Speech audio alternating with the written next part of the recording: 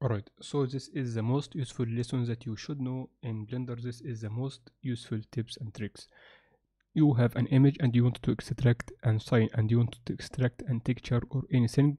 You want to extract this sign from this image and it's distorted or not aligned to the camera or not perfectly orthographic. So how we can do this? In around two minutes I will show you the process. Firstly you should delete this image and I will add a camera. This camera will be in this direction. So I will go to the camera view and in here I will go to the orthographic. Then after that I will go to the background image and I will add my image. So I will select the image and after that it will show in the camera. Then I will set up my scene to match the image. So it's 6000 by 4000 and here we are. Then I will add an a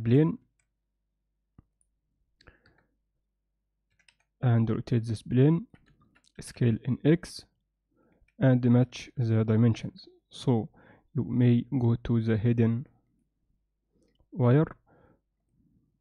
Let's match our image here.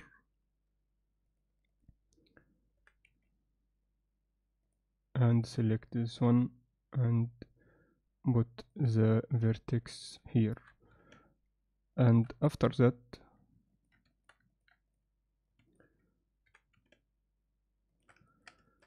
you have two UV maps. One which is the original. Select all and unwrap. You have this one let's rotate 90 degrees.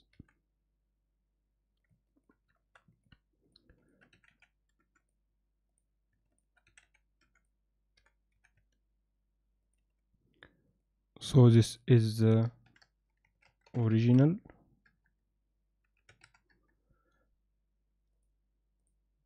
and we have another UV map which is from view. So this is projected. And after that you can now go to the texture paint select clone going to setting select single image add a new image maybe 2000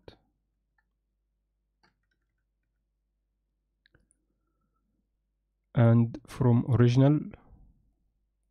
After that select clone from paint slot select projected and this image. Then